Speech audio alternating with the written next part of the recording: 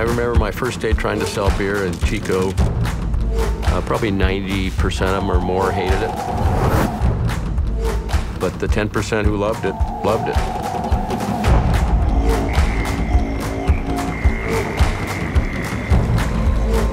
It starts with a spark. For some, it's a guitar or a camera, the click of a bike, your first ghost pepper, or a midnight tinkering session in the garage.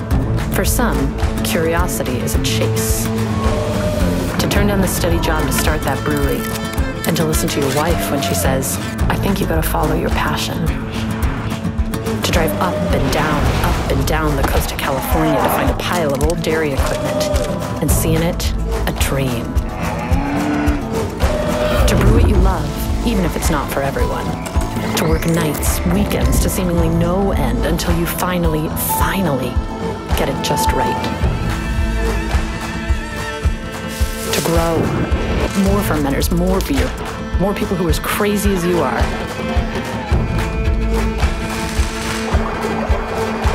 To give the big corporate brewer the bird when they come knocking. If they want to buy Sierra Nevada, they can get it from the store like everyone else. To brew sustainably. Build the nation's first LEED Platinum production brewery and reuse almost every tree.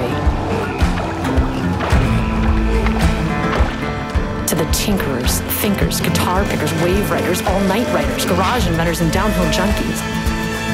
That's who we brew for. For those who work hard, live like crazy, and fill their cup with curiosity after a day well done. You bring your passion, we'll bring ours. Sierra Nevada Brewing Company. Spark your curiosity.